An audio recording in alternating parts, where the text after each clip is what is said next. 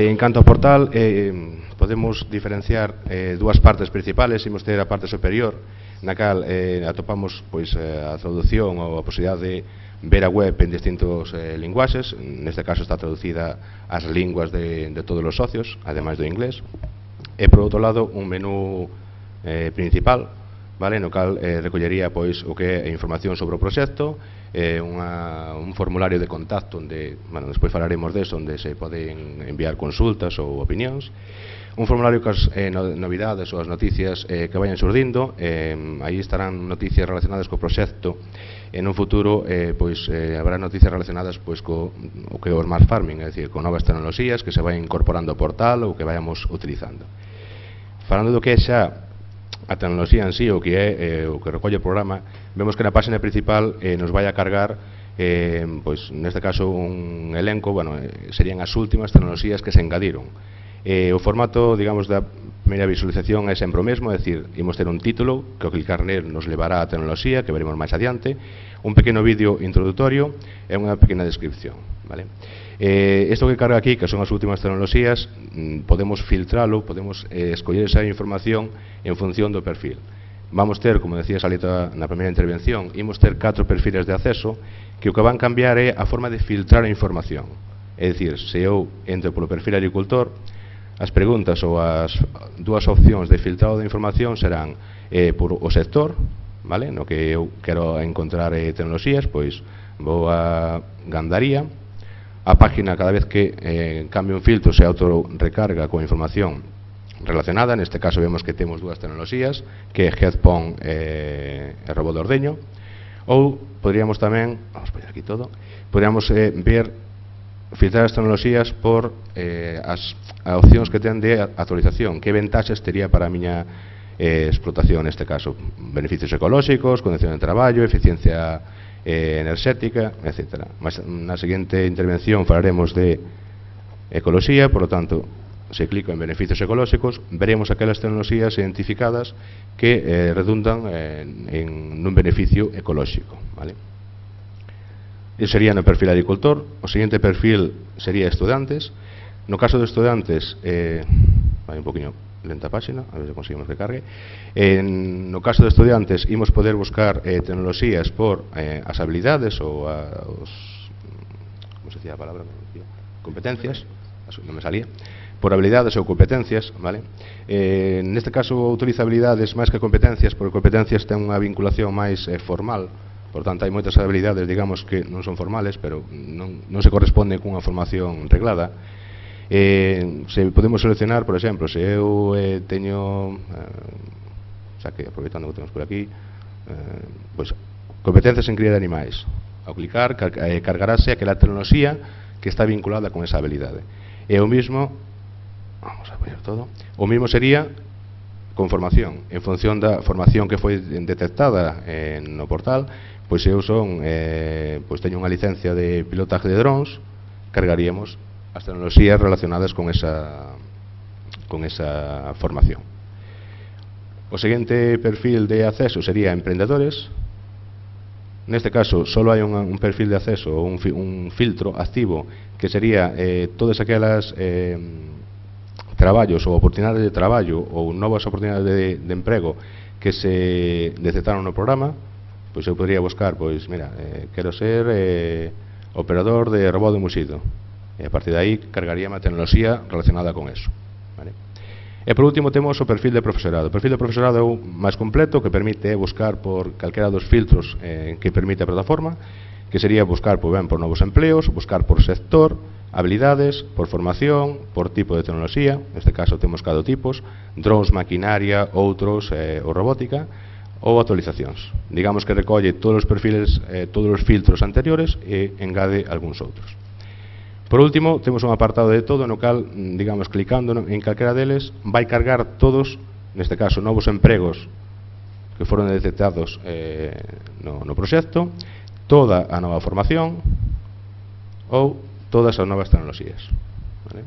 E aí saldría un listado con todas as tecnoloxías que se detectaron no programa. Ben, eh, se entramos en a da tecnoloxía clicando no, no seu título ou ben clicando en máis información, accederemos á información desa tecnoloxía. Imos ter dos, dúas eh, columnas neste caso.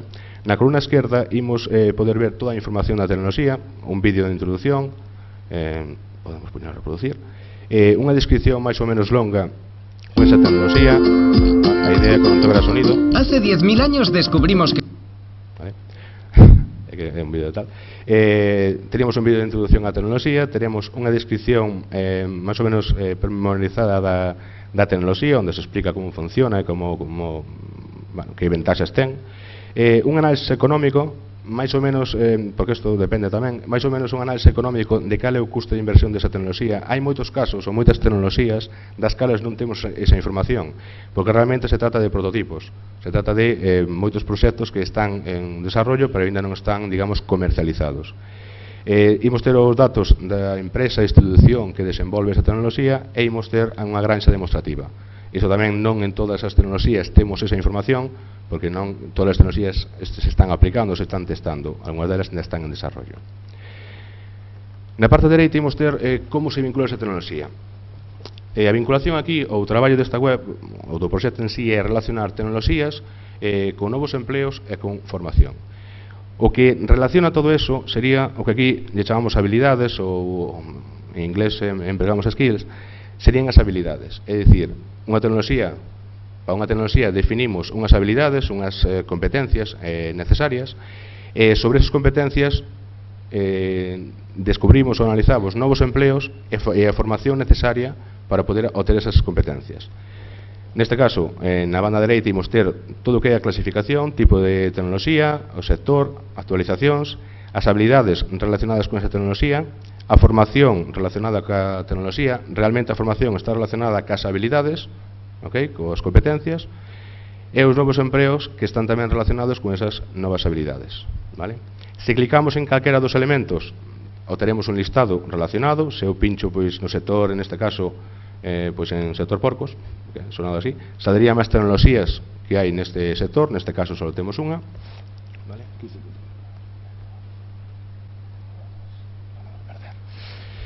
Eh, se clicamos na formación, pois en programador en agricultura, cargarame a información desa tecnoloxía, ou de, perdón, desa formación. Vamos deixar así, máis fácil. E se clicamos novo, novo empleo, por exemplo, en analista de datos de explotacións agrícolas, accederemos á información de ese novo empleo, vale? A información de, dos novos empleos pois eh, se resume nunha pequena descripción e uns exemplos de uso E sería un pouco todo o que é a clasificación desa tecnoloxía. Vale? Temos un apartado de actualizacións, digamos, onde se describe eh, máis, máis, eh, máis ao miúdo eh, que ventaxas ten esa tecnoloxía. E finalmente temos, eh, digamos, mm, unha forma de recoller feedback. É dicir, para cada tecnoloxía temos unha serie de iconos nos cales eh, os usuarios poden clicar eh, simplemente eh, valorándoas como pois eh, nos parece útil, neutral, ou nos parece unha tecnoloxía pouca utilidade eh, po sector ou pa, o que tal. Podemos enviar comentarios, calquer comentario, nova aportación e eh, demais. E por último temos unha opción de enviarnos eh, novas tecnoloxías, empregos ou formación. A idea do proxecto é que aquí hai unhas tecnoloxías que se traballaron durante, eh, todos os socios do proxecto durante estes anos, pero a idea é que isto non queda aí, é dicir, isto realmente podrá funcionar, podrá ter éxito, se sigue medrando, se sigue eh, eh ampliando. Eh, a idea disto é que calquer persona, calquer, eh, pode ser un profesor, pode ser eh, de propia empresa, envíe novas tecnoloxías. Por exemplo, se neste caso estou eh, vendo Autofarm que está, son unha serie de sensores, bueno, control dunha granxa de, de porcino, calquera outra empresa, habrá máis empresas que teñen tecnoloxías similares ou tecnoloxías similares para outros sectores. A idea é que calquera empresa ou interesado pode enviarnos a súa tecnoloxía. O mínimo pasaría para enviar novas oportunidades de emprego ou eh, nova formación. Se clicamos, por exemplo, en tecnoloxías, saldrános neste caso un formulario, sería completar o formulario, ca maior información posible, e enviárnoslo e a partir de aí eh, engadaríamos a, a plataforma. Esta é un pouco todo. A idea da web é que fose bastante como se di, intuitivo o seu uso. Eh, eso será a vosa opinión, darse se intuitivo ou non. Estaría un pouquiño máis ou menos resumido todo que así de forma rápida. Sí.